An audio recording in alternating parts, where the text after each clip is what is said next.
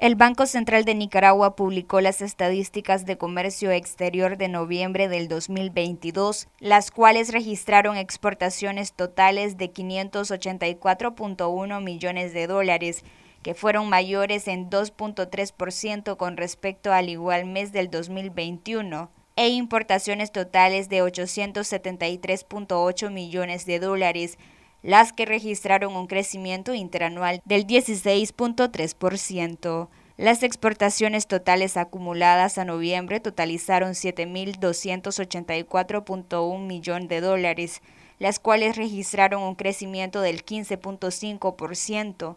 impulsada principalmente por el aumento de los precios promedios contratados. En este resultado, las exportaciones de mercancías, con 3.595.9 millones de dólares, contribuyeron al registrar un crecimiento interanual del 11.9%, que fueron 3.213.8 millones en el 2021. El restante provino del dinamismo de las exportaciones de zona franca, 3.688.2 millones de dólares, que registraron un crecimiento interanual del 19.3%, que el año pasado fueron 597.5 millones adicionales. Las importaciones totales acumularon 9.315.2 millones de dólares a noviembre, registrando un crecimiento interanual del 21.3%, explicado principalmente por el aumento de las importaciones de mercancías con el 20.1% y materias primas para el régimen de zona franca el 24.6%.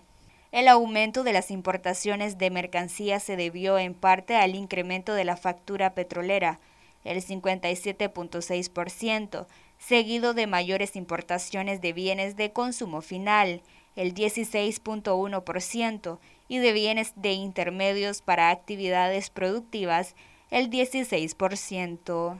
Como resultado, el déficit acumulado a noviembre ascendió a 2.031.2 millones de dólares, reflejando un aumento del 48%, es decir, 659.1 millones de dólares, con respecto al déficit a noviembre del 2021, 1.372 millones, como consecuencia del aumento de las importaciones, que fueron 1.638.7 millones de dólares, que superó el aumento de las exportaciones, que estas últimas tienen un monto de 976.6 millones de dólares. Para Noticias 12, Luisa Centeno.